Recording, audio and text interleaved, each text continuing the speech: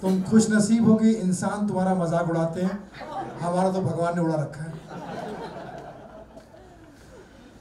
तुम्हारी खूबसूरती भी यही तारीफ़ करूँगा कि ये लड़की नहीं देश का गहना है। ये लड़की नहीं देश का गहना है। मेरे अलावा ही बाकी सबकी बहन है। और संजीव जी बहुत हैंडसम लग रहे हैं गुड लुकिंग लग रहे हैं। राज, राजेश जी राजेश जी राजेश जी। मैं क्या सुना, आज ये इतने खूबसूरत चाँद सितारे हैं, इनके सामने इनके सबका मैं फ़ैन जोरदार ताले सभी कलाकारों के लिए। और, एक से बढ़कर एक फ़िल्मों में इन्होंने अभिनय किया है। तो इनके बीच में मुझे खड़े रहने का मौका मिल रहा है, मैं अपने आप को बहुत प्राउड फील कर रहा हूँ। अच्छा लग रहा है मुझे।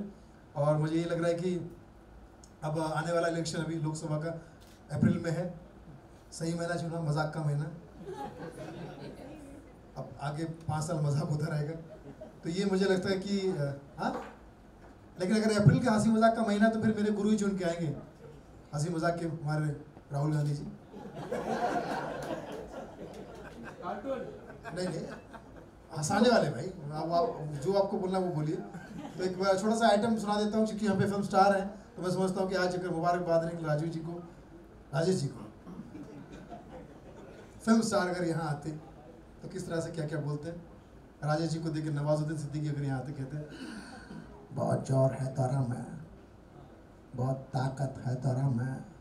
माँ का, बाप का, भाई का सब का आशीर्वाद मिलेगा रे तेरे को।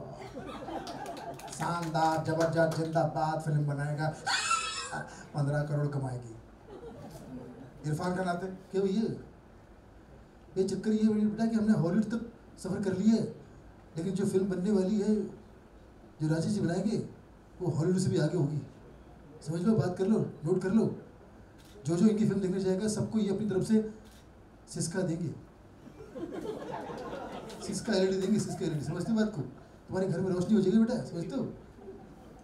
और हमारे जॉनी लीवर साहब होते बाबा मेरे छोटे छोटे बच्चे हैं और सब इसके फ़ैन हैं। ये नारियल पानी पीता और मैं बेचता हूँ। आपको नारियल पानी चाहिए तो राजेश की फ़िल्म देखो निकल ले। राजपाल यादव अरे भैया हम तो इनके बहुत बड़े फ़ैन हैं जो कहते हैं निभाते भैया। राजेश जी आपकी फ़िल्म हिट हो जाएगी सुपर हिट। सब लोग देखने आएँगे आएँगे कि नहीं बताओ?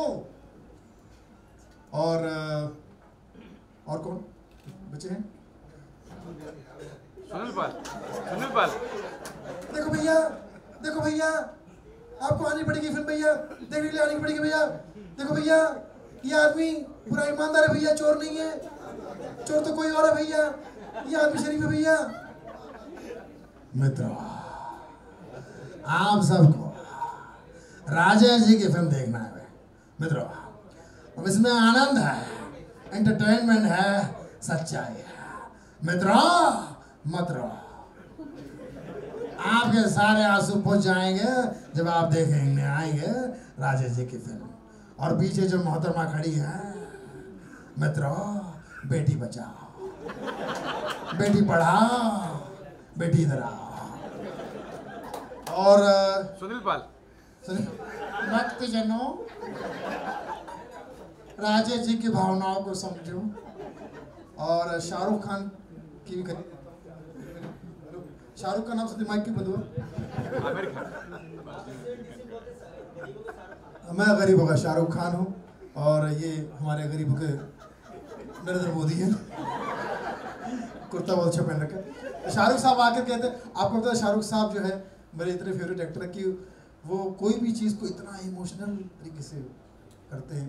सर आपने तो मैं, मैं देखा है बहुत बहुत इमोशनल पास से हाँ। बहुत इमोशनल बहुत इमोशनल हो जाते हो। भाई बहनों अरे अरे याद आया। आई लव यू बाबू जी ने कहा कि शराब छोड़ दो। बाबू जी ने कहा कि शराब छोड़ दो। बाबूजी ने कहा कि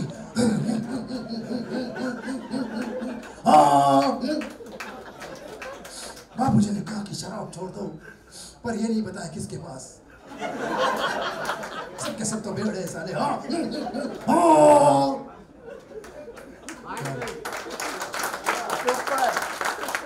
चिची भैया, गोविंदा जी। अरे कमाल करते हैं। चंद्रमुखी। अरे बाबू अरे जो थप्पड़ आपने मारा